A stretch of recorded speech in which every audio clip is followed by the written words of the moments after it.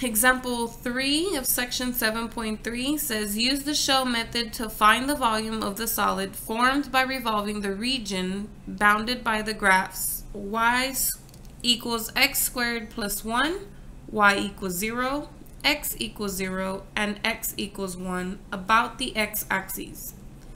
So let's see what all of that looks like. Now, they don't tell me, well, there's only one function there.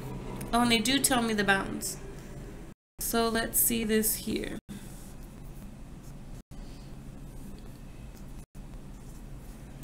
So when I plug in 0, I'll get 1. And when I plug in 1, I'll get 2. And it is a squared function, positive, so it should open up this way. Okay, so I have a line y equal to 0. That's this x-axis, actually. We have the line x equals to 0, which is actually y-axis. And we have the line x equal to 1. Okay, so the only region bounded by all four of these is this section right in here. And I am revolving about the y-axis. So I'm actually revolving in this direction. Which means I have a vertical line of revolution. And if I'm using shell method, I need to use a parallel rectangle, which means my rectangles should also be vertical. So let's see. We have volume equals 2 pi.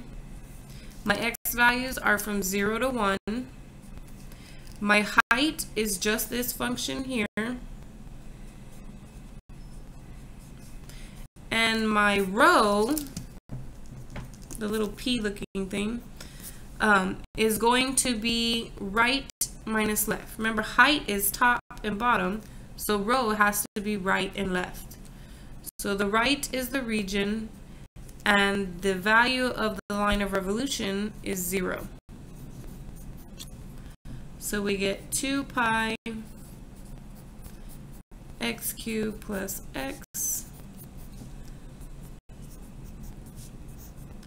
x to the fourth over 4 x squared over 2 evaluated from 0 to 1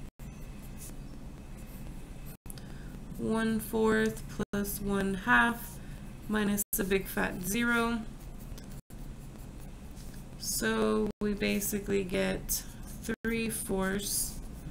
And if you reduce the 2 and the 4 you get 3 pi over 2 as your volume. Okay. So let's move on to example 4. Again, it says use the shell method to find the volume of a solid formed by revolving the region bounded by the graphs of y equals x plus 1, y equals 0, x equals 0, and x equals 1 about the x-axis. So let's see what that looks like.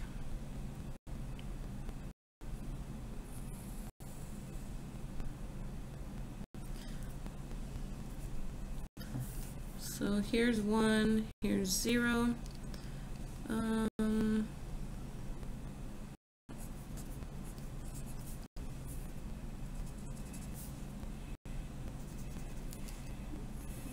there's the line x plus 1. Here's the line y equals 0. Here's the line x equals 0. And here's the line x equals to 1.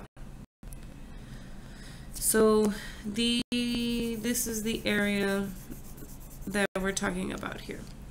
Now, notice that it's a trapezoid, and if I wanted, I could probably find the area or the volume using a, um, well, no, not even then. It's going to kind of create like a pyramid, but without the top. Um, so you can't use one of your geometric formulas. So let's see here. We have, we're revolving about the x-axis, which means we're revolving this way. So that means our line of revolution is horizontal, which means if I have to use shell method, then my rectangles should also be horizontal.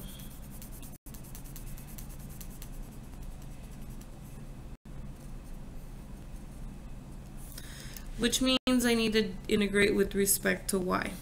So we have the volume equals 2 pi. The lowest y value is 0. The highest y value is actually 2. Then we have the height, which is this function right here, which is 1. That's a little interesting, right? And then we have um, rho of x. And rho of x, oh, this is going to be interesting. We actually cannot go from 0 to 2. Because notice that here the height is 1, but what happens if I draw a rectangle here? Notice that the height is not just one, it's different, okay? So I'm actually gonna cut this image in half. Well, not necessarily half as far as area is concerned, but as far as the width, entire width. So we're not gonna go from zero to two.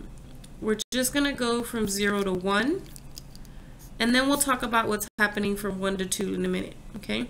But for this bottom little rectangle piece, we are going to use the shell method and set it up. So the height is 1, and the rho of y would be the top minus the bottom. So the region minus the line of revolutions value is 0.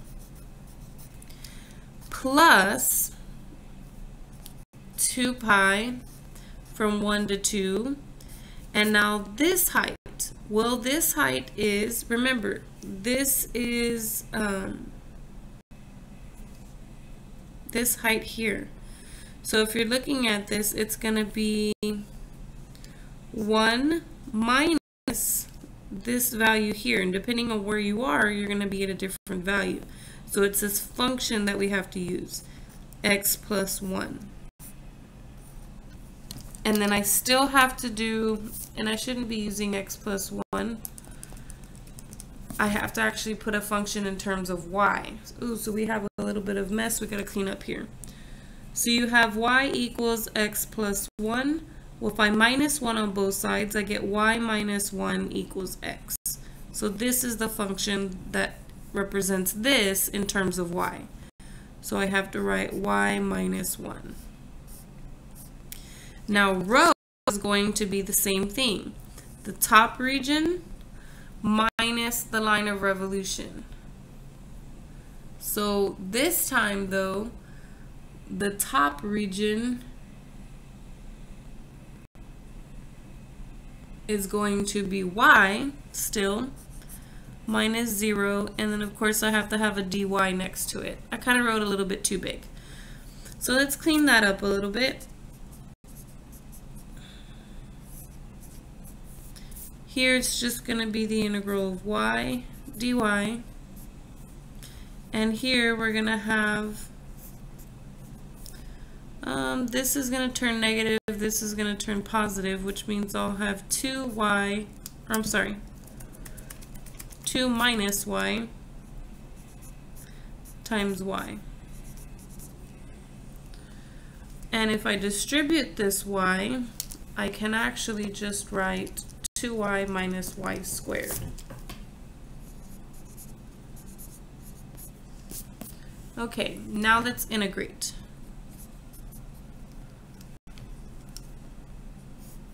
I get y squared over 2 evaluated 0 to 1. I get y squared. It would be 2y squared over 2, but the 2's would cancel minus y cubed over 3 evaluated from 1 to 2.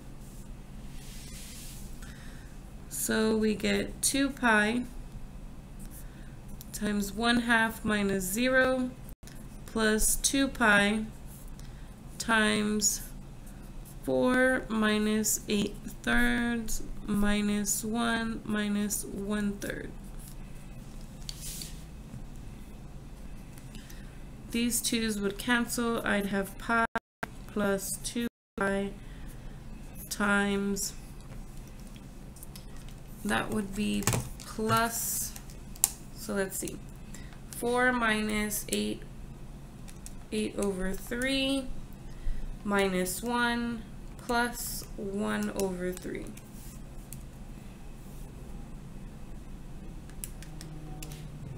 I get 2 over 3. So this is pi plus 4 pi over 3, which equals 7 pi over 3 altogether. So that should be the volume of this entire region. But notice you did have to split it up. Now just FYI, had I not been told to do the shell method, this problem would have been a lot easier if I integrated with respect to x. Because notice, if you put a vertical rectangle here, you don't have to do two different parts because the vertical rectangle would be the same. It would always be this height, this line, no matter where you were, whether your rectangle was here or your rectangle was there or it was in the middle. And so then you wouldn't have to split the integral into two pieces, okay? So some instances it's easier to use disc or washer and then some instances it's easier to use shell method. All depends on the problem and what you're revolving around.